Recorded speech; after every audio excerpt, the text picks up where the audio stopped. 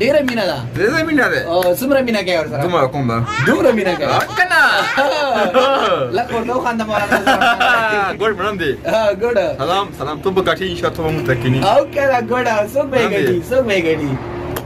خا خبره ولا شي خا خبره مولانا به زما نه شي ها کنه دا خبرې دي کنه کنه اچھا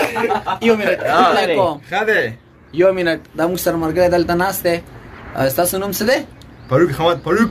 فاروق احمد فاروق فاروق پکې فاروق او دا سوي عمران خان خنه دی عمران خان خنه دی او ته چا سپورټ کوي د پاکستان پاکستان سپورټ وکیا صحیح ده نواز شریف مولانا فضل الرحمن سپورټ کوي ها مغه کوم هم پاکستان مولانا فضل الرحمن ها هغه سره هغه سره ستاسو رشتہ ده مینا ده مینا ده ها ډیره مینا ده ډیره مینا ده او څومره مینا کوي ورسره دومره کوم ده دومره مینا کوي کنه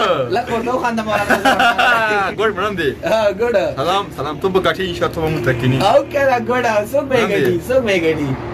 سم مولانا بز رحمان به ګټي هغه سره تاسو رښتیا دین نشته لکه سیاستي دین ګډ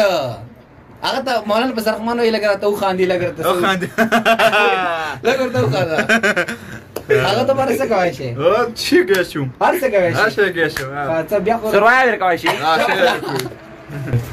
خاندور به څه وایي ورته چیرې بس خبرې وکړي بس ما دا خبرې دی وکړه دا خبره مولانا فضل الرحمن وایي کنه وایي که زګي سره ملاقات کوم تا نه وایي بیدار اچا ها بیدار بیدار یار ها نور بس ورته وایي نو چینه نه دا خبرې دی بس ها دا خبرې دی خا مولانا فضل الرحمن ډیر زیات خوښ دی ډیر شعر مخ خوښ دی ولا چی ډیر مینه سره کوم مینه سره ځان مرګ شي ها ځان مې سره شي خا اوس درته مثال ځان ځان چور کړو ځان مسور کې ها ها حقیقت خبره ده خا خبره ولا شي خبره مولانا فضل الرحمن ها کنه دا خبره